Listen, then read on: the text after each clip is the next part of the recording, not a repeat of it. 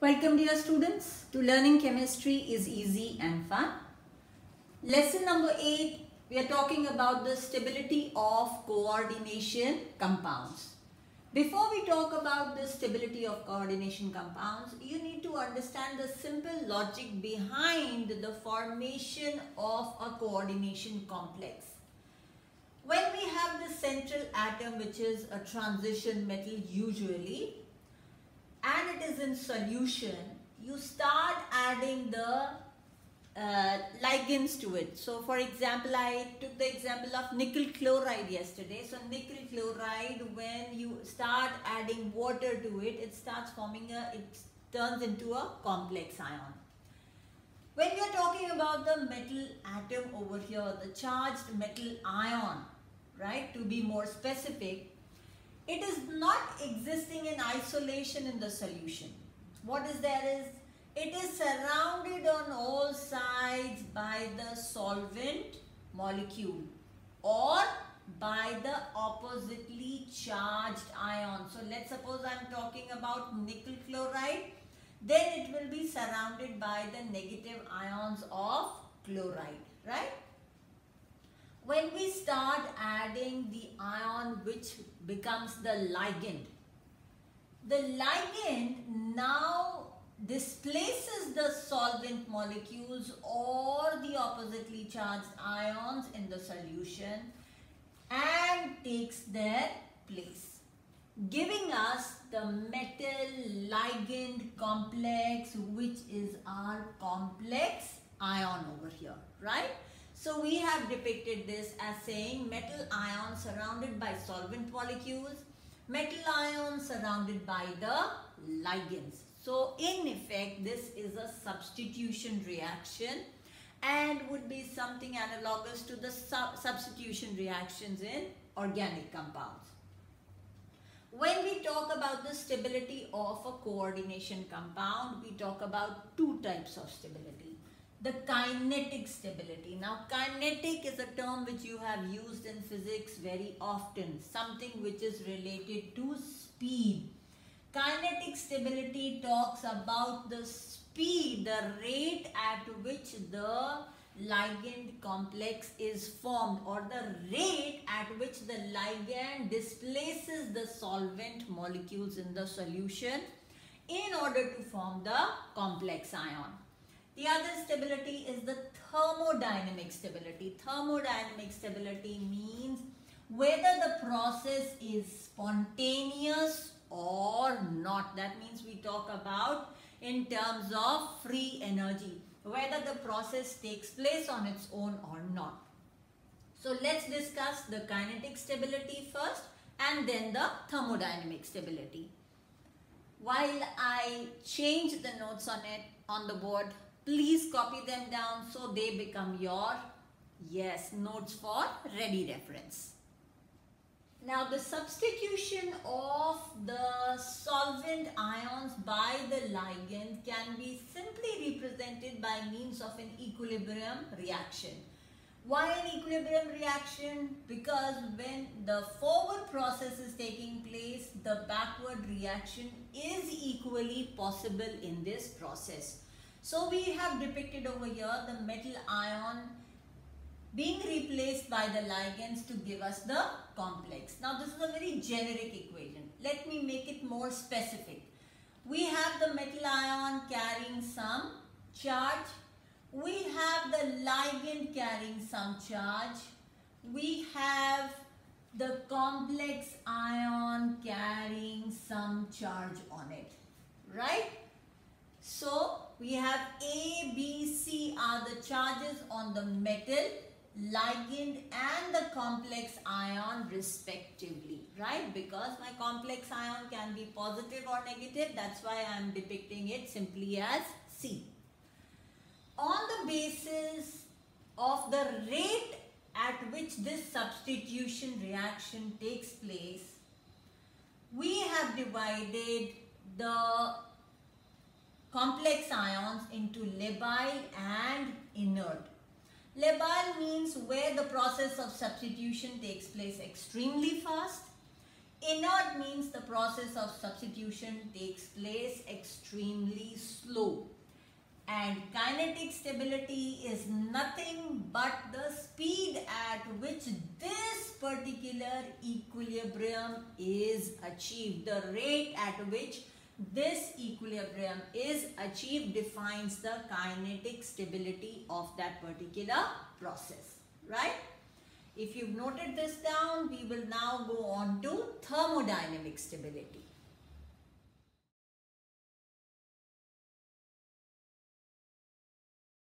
Now when we say thermodynamic stability, what comes to our mind immediately is the, yes, the free energy form which defines the spontaneity of a process. When delta G, that is the Gibbs energy or free energy or Gibbs free energy with whatever term you know it as, if it is less than 0, the process is spontaneous. Equal to 0, equilibrium. Greater than 0, the process is non-spontaneous. That means it does not proceed towards in the forward direction. Now where does this delta G all of a sudden come into the picture? We are talking about an equilibrium reaction over here. Equilibrium reaction means equilibrium constant. And what is the relation between delta G and equilibrium constant? Yes, delta G is minus 2.303 RT log of Kc. If you are clueless about this particular expression, please refer to the topic thermodynamics on the channel. Now equilibrium constant is a term which is used to de uh, define or give the expression for the concentration of the products divided by the concentration of reactants each raised to the power of their coefficients. Because we are talking about stability, we are just going to manipulate this Kc to Ks which in some texts is also written as beta. That is stability constant. What is stability constant? Again, it is nothing but equilibrium constant for this substitution of the solvent molecules by the ligands. That's all. Okay? There's not big deal about it. If you know chemical equilibrium, you'll understand this. So that is the concentration of the complex ions divided by the concentration of the metal ion and the ligand raised to the power of the coefficient here. My ligand n ligand. So if let's suppose you have um, uh, Cu H2O whole 5 so there are 5 ligand atoms molecules in this. So it's 5 H2O so this 5 comes as the power over here now in this particular expression, how do we define thermodynamic stability? That means the what value of Ks will give us a high value of this product. Yes, higher the value of Ks, more the value of the complex ion, hence greater is the thermodynamic stability of this particular equilibrium reaction right? That is how we define thermodynamic stability. Now, when we are talking about a substitution reaction, it's not that the entire substitution will take place in one step. It's a step-by-step -step process. So when I said CuH2O whole 5, there are actually five steps involved in it. So replacement of one sulfate by one water. Replacement of second sulfate by second water. Replacement of third sulfate by third water and so on. Generally, we have depicted it like saying the metal plus the ligand. Now, if you notice over here, I am not showing the solvent molecule again for the sake of simplicity. What you have to keep in mind is here it's not the metal ion existing on its own. What is there is the metal ion is surrounded by solvent molecules. So one solvent molecule replaced by the ligand gives us the first intermediate. Now again this is an equilibrium reaction. So K1 that is the stability constant for the first equilibrium is the concentration of the products divided by the concentration of the reactants. Go on to the second step. ml plus L where the second ligand replaces the second molecule of the solvent. So I have K2 is Ml2 divided by concentration of Ml into the concentration of the ligand. Same way third, fourth, fifth, sixth depending upon how, many ligands are surrounding the central metal.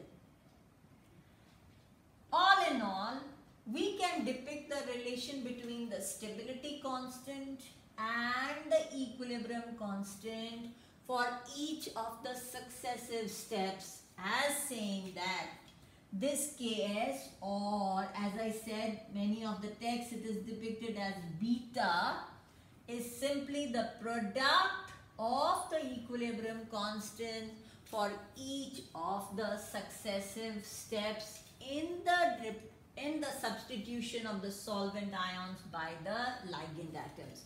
So we have Ks is equals to K1 into K2 into K3 and so on and so forth. But why aren't we studying all this? How does it help? Right? What is the logic behind it? Most of it is very clear from here. But still we will deal with it in detail. Till now I've been talking about stability constant, right? So Ks is my stability constant, right? Ks or beta. What would be the reciprocal of this? So if I'm talking about the conversion of the complex ion into the metal and the ligand. Yes, what is happening here? Yes, dissociation. And dissociation means what constant would you call the reciprocal of this? Just flip it upside down. Yes, it would be called as dissociation constant. Right? So your dissociation constant is reciprocal of stability constant if stability constant defines the feasibility of a process in the forward direction, the dissociation constant will define its feasibility in the backward direction, right? So now let us see the applications of this stability constant. Now what is the whole logic behind studying the stability constant or the dissociation constant, right? So in general, we say stability constant is the concentration of the complex ion divided by the concentration of the metal and the ligand. So if I know the stability constant, I am able to predict the stability of a complex ion, very obvious. So for example, we've got two complex ions of copper with different ligands, right? So we've got the CN group here, we've got the NH3 group over here. The stability constants for the reaction wherein we've got a copper ion, the ligand can be Cn negative or NH3 gives us the complex. So if you notice both of them are tetra. So that is why I've written as a generic formula.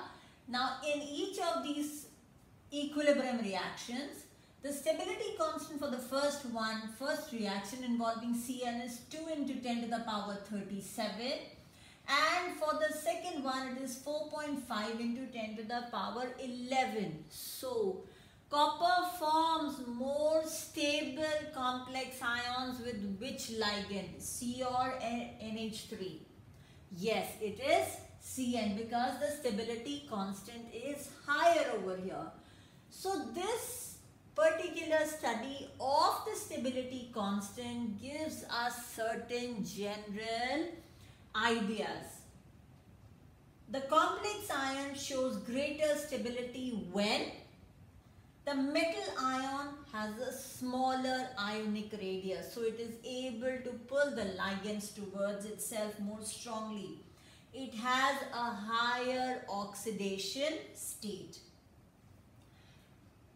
The stability constant or stability of the complex ion is also supported when the ligand has a chelating effect vis-a-vis if it is a monodentate ligand. So for example, if I take the complex of copper with ammonia and I take the complex of copper with ethanediamine, ethane 1,2-diamine. So if I have ammonia, this is how the complex would be, right? CuNH3 whole 4. If on the other hand, I have a, yes, we take the example of ethane 1,2-diamine.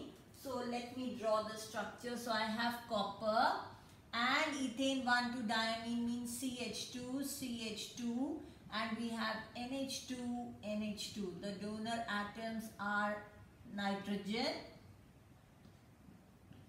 NH2, NH2, CH2, CH2. Now if you notice over here, they formed a ring over here. This particular type of complex ions are found to have greater stability constant as compared to the monodentate ones. So we say ligands which can show chelating effect give us more stable complexes. The ring size. Now here I've got a 1, 2, 3, 4, 5. Usually five membered rings if they are saturated are found to be more stable.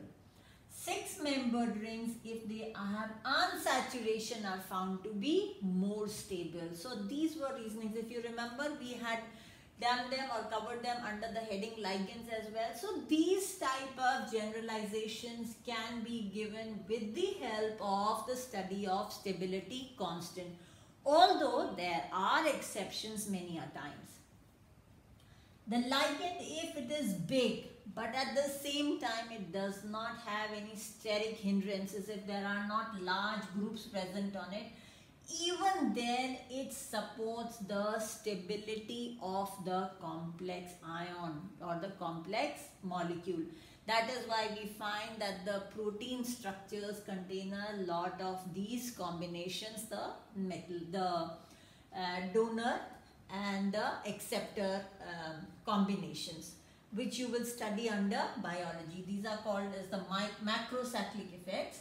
So, the various factors which affect the stability of a coordination compound can be deciphered or can be decided on the basis of the value of the stability constant right this brings us to the end of the stability of coordination compounds we are yet to do yes we have not touched base on isomerism and that's our next heading for this particular topic.